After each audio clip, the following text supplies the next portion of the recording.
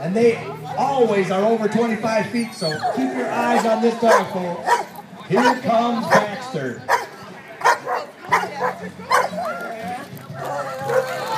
Oh, God. That's how you do it, folks. The best in the world right there. You got to see them make their first jump. Oh, three feet early he left.